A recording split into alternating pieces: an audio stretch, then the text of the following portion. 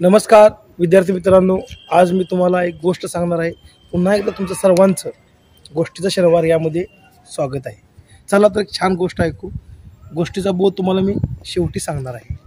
तर एका गावातून दुसऱ्या गावात एक साधू जात असतो संन्याशी. साधू संन्याशी भिक्षू जात असतो आणि जाताना त्याला एक गाव लागतं आणि त्या गावामध्ये त्याला तहान लागते. तहान लागलेली असते त्यामुळे तो काय करतो की गावाच्या आजूबाजूला पाण्याचा शोध घेतो तर गावाच्या बाहेर त्याला एक आड दिसतो. आड म्हणजे विहीर. आड म्हणजे काय? विहीर. आणि पूर्वी काय करायचे लोक? की सरळ त्या विहिरीतून राहटाद्वारे त्याला एक भांडत बांधलेलं असायचं तांब्या बांधलेला असायचा आणि त्या तांब्याद्वारे पाणी दोरीनं खेचून संपूर्ण गाव पाणी वापरायचे किंवा वाटसरू पाणी प्यायचे. अशा पद्धतीने पाणी काढण्याची पूर्वी एक पद्धत होती. आणि त्या पद्धतीने लोक पाणी काढायचे घरी वापरायचे प्यायचे. आपल्याला लागल त्या कामासाठी पाणी घेऊन जायचे.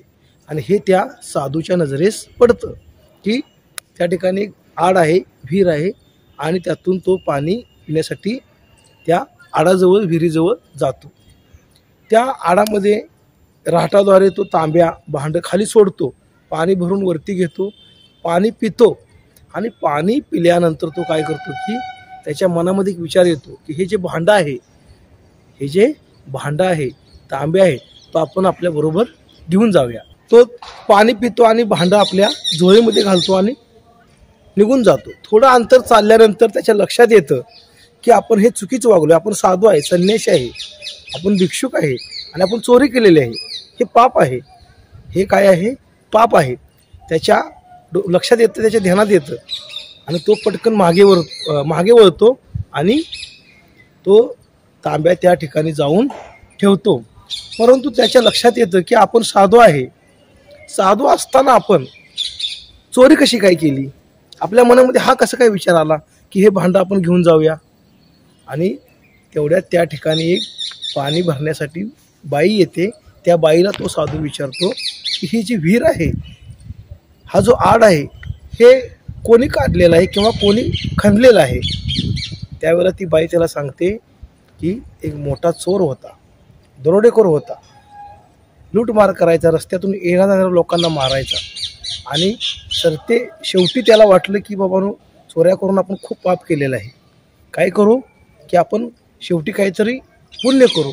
आणि म्हणून त्याने त्याच्या पैशातून चोरीच्या पैशातून हा आड किंवा ही विहीर काढलेली आहे.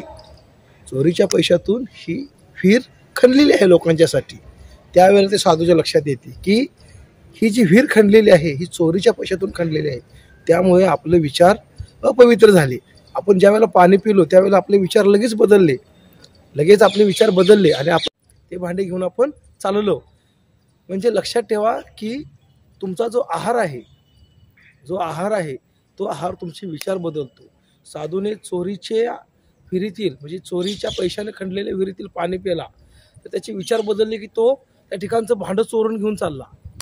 म्हणजे ज्या पद्धतीचा तुमचा आहार आहे ज्या पद्धतीचा आहार आहे म्हणजे पाणी साधू पाणी पिल्यानंतर त्याचे विचार बदलले कारण ते पाणी विहिरीतील होते पण ती विहीर चोरीच्या पैशातून खणलेली होती. अशा पद्धतीने तुम्ही देखील लक्षात ठेवा की वाईट मार्गातून आलेल्या पैशाची जर काही तुम्ही जर वापर केला खाल्ले पिल्ले तर तसेच तुमचे विचार तयार होतात.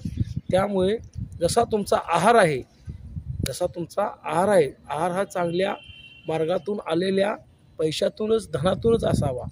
त्यामुळे आपले विचार सात्विक होतात.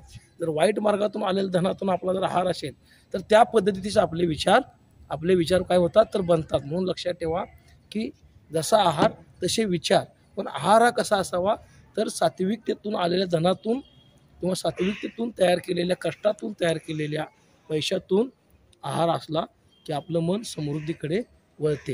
ही जर गोष्ट तुम्हाला आवडली तर लाईक करा शेअर करा कमेंट करा. धन्यवाद.